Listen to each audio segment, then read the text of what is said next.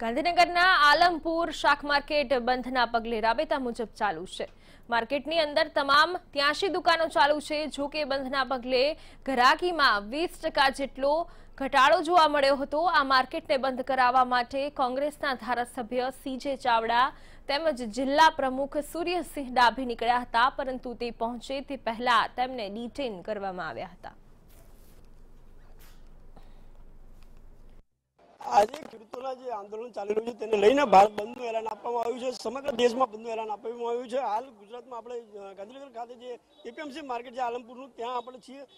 જોઈ શકાય છે કે જે પ્રમાણે બંધનું એલાન આપ્યું છે, પરંતુ અહીં તમામ માર્કેટ ખુલ્લું છે. એપીએમસી માર્કેટ ચાલુ રાખવામાં આવ્યું છે. કોંગ્રેસ દ્વારા એપીએમસી માર્કેટ બંધ કરવાની વાત હતી, પરંતુ જે પ્રમાણે દુકાનો ખુલ્લી તે પ્રમાણે બંધને સમર્થન એપીએમસી માર્કેટ દ્વારા આપવામાં આવ્યું નથી. અહીં જે દુકાનદારો છે, આપણે તેમની સાથે વાત કરીશું. શું નામ આપનું? લલિતભાઈ. લલિતભાઈ આજે ભારત બંધનું એલાન આપવામાં આવ્યું છે. ખેડૂતોના સમર્થનમાં. તમે એપીએમસી માર્કેટ ચાલુ રાખ્યું શું કહેશો? અમારે તો વેપારનો માલ આવે છે. ખેડૂતો તો પચાસ ટકા ના પાડીને કહે કે અમે આવીશું નહીં માલ લાવીશું નહીં. કેમ કે બંધનું એલાન છે એટલે અમારે કટિંગ કરવાનું જ નહીં ખેતરમાંથી કાઢ્યું જ નહીં માલ. બરોબર.